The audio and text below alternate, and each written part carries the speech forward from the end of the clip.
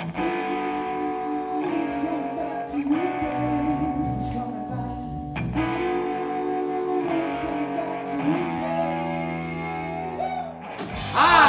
we're the Dirty Pearls. New York City, and we're here for the Cerwin Vega P Series event.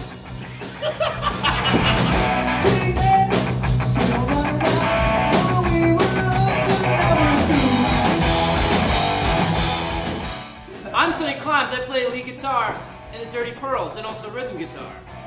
I'm Doug Wright, I play bass in the Dirty Pearls. I'm Tommy Mogus, I play guitar and sing in the Dirty Pearls.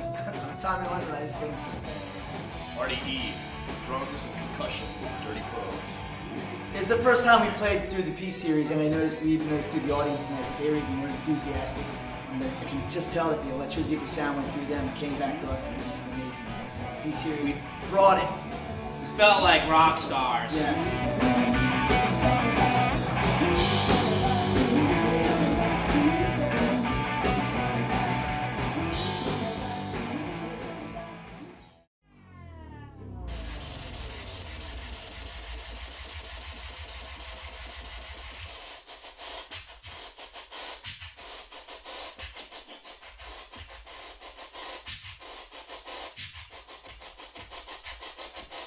Yo,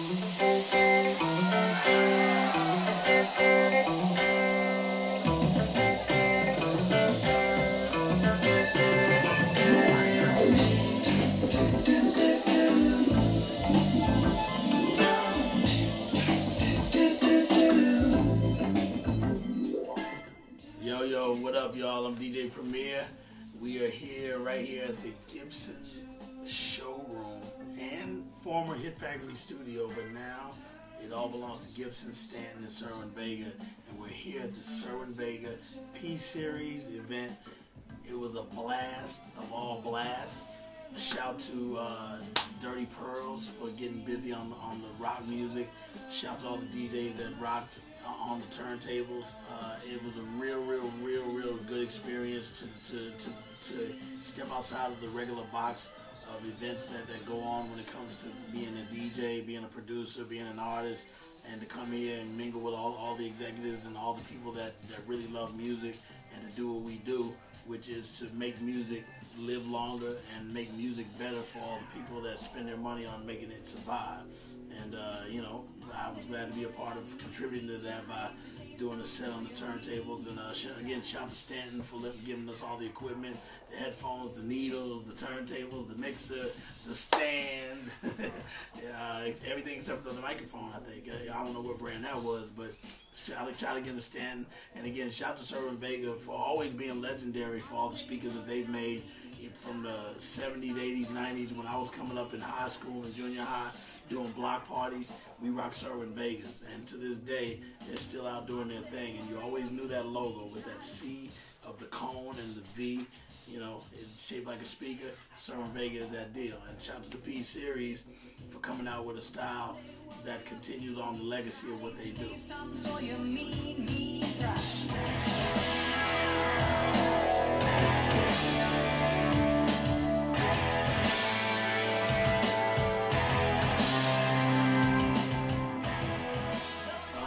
Far as the sound of the P series, Cerwin Vega speakers, um, it, it was good to finally hear where they where they are at, at this day and age in the 21st century. You know, with with new equipment, um, when especially with Dirty Pearls, because when they perform, I'm all about the bottom. And you can have the, the brightness and the guitars and the drums and the high vocals and everything and, the, and all the leads, but the bottom, which is the bass player, shout to Dougie on the bass. Um, you can still hear it rounding out the whole thing where it's like this. It wasn't like this. It was in a perfect circle. And Cerwin Vega has always provided that, but they provided it still when it came to hearing a rock band get busy. When it comes to hip hop, we're gonna give you the bottom automatically, whether you like it or not. So you're forced to have to take the, the boom and the bap, the kick and the snare, and all the noise that comes with, with hip hop music. But to see the difference from hearing a rock band perform on the same speakers and then hearing me perform on the same speakers, it lets you know that they're still in the league uh, of, of, you know, the, the, the upper echelon of, you know, taking it to the top. And uh, I'm so glad that I got to play on them because I want a pair and I need a pair So when we do our next block party for the summer, we're making everybody jealous that we got the Cerwin Vega P series.